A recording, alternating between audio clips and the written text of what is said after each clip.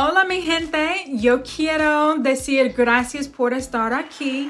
Yo quiero construir una comunidad donde los, las personas que quieren aprender un idioma pueden recibir apoyo y ánimo en este canal.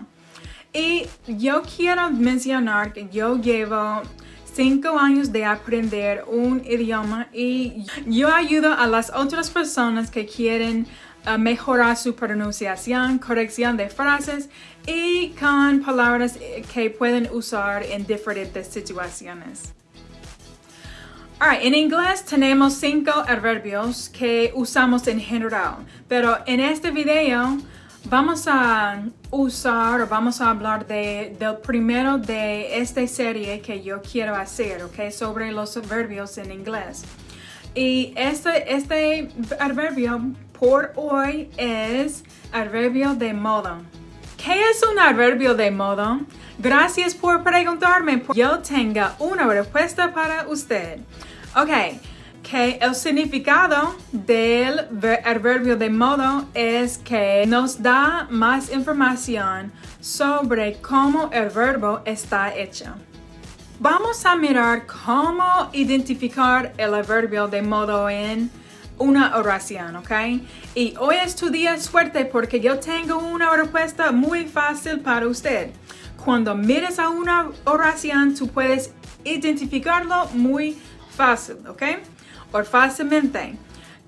Cuando ves una palabra en inglés y hay una L y Y al fin de la palabra, eso es tu respuesta. Es una, es un adverbio de modo. ¿Y dónde lo ponemos en una oración?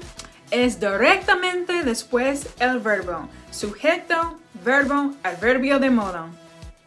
Y un ejemplo es... La tormenta pasó rápidamente. The storm passed quickly. ¿Pensaste que no ibas a darles ejemplos de estos adverbios de modos? No tienes razón porque yo tengo cinco palabras para practicar juntos. Ok, la primera es cuidadosamente. Carefully. Carefully. Rudiosamente.